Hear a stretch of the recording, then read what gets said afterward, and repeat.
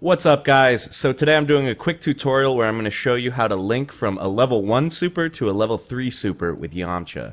So it looks a little something like this. Here's the level 1 super. And then there's the level 3 super. And as you can see, they comboed into each other. So this only works in the corner, first of all.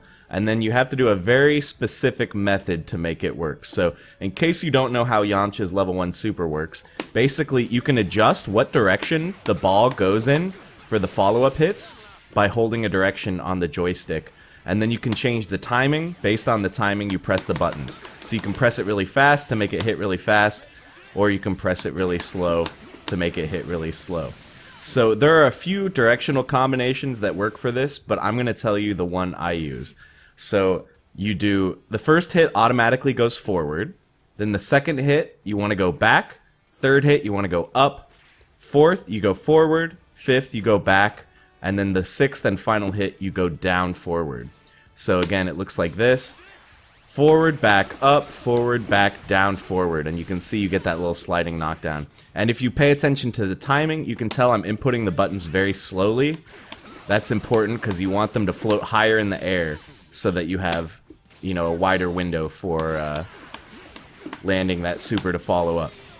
So it's not that hard. So if you're doing it from a DHC, the timing is a little bit harder. Uh, you have to do it a little bit faster. What I do is I do two groups of three. So like that, you can see I did kind of two groups of three with a gap in the middle. That to me is the most consistent way to make it work. Uh, but then solo, it's pretty easy, and you can do it off of whatever combo, you know, like...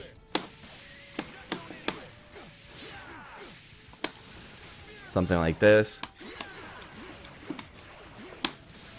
And there you go. So, once you get the hang of it, it's not super hard, but uh, yeah, it can be a little bit tricky at first. So, with that, I'm going to cut to some footage from yesterday's stream where I somehow managed to pull this off in a match. I think for the first time, that was the first time I ever did it in a match. So hope you enjoy, guys. Be like, why are the buttons on your controller so loud?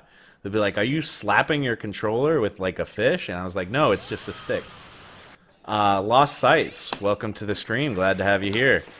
We are just, uh, I guess the mission today is we're trying to make it to uh, whatever the next rank is above Super Saiyan 2. What is it, Elder Kai? Something like that.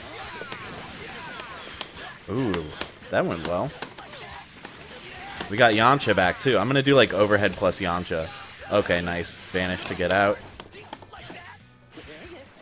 I need to have more solid block strings when I don't have an assist. I kind of just let the block string end, which I know is bad. I need to go into Kamehameha. Uh, Supreme Kai, yeah, that's probably what it is. yeah, pre-Mad Catz going out of business. I have a TE2 as well. That's kind of my second player stick. But I'm always scared to use it because it's like if it breaks, Mad Catz isn't going to be around to fix it, you know?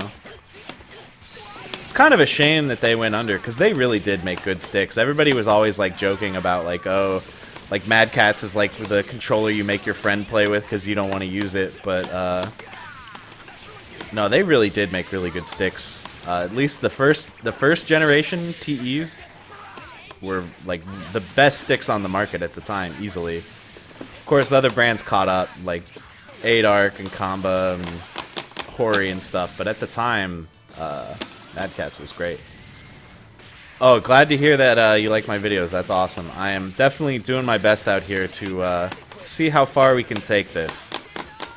Uh, I've really been enjoying this week so far, you know, just having time to really take my time on the video today that I uploaded. Not having to be like, well, I just got home from a full day of work and now I have to make a video. Like that really takes the wind out of your sails. But now I can like really focus on it and it's a lot of fun. Uh, I guess I shouldn't have supered there. That was a mistake. I didn't have enough meter to kill. Okay. Okay. Ooh. There we go. Uh, I guess I'll just hit him low. Yep. Oh no, I dropped it.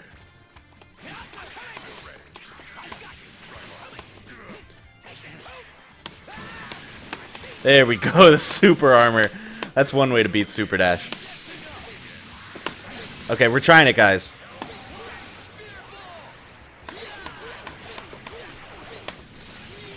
Yeah, you guys see that? Oh, for the kill! Oh, oh, oh, oh my God, that's got to be a clip or a highlight or something. I'm gonna do something with that, but whew, whew, that felt good to land. Alright, that's it for the video guys. Hope you enjoyed and found it informative. If you're looking for more tutorials like this one, I just created a playlist of all my Dragon Ball FighterZ character tutorials, so hopefully that helps you out. Uh, and if you haven't already seen my video from yesterday, I think you might enjoy it. It is a wish list of everything I want from the upcoming Dragon Ball FighterZ patch. So that's it guys, thank you for watching, and I'll see you in the next one.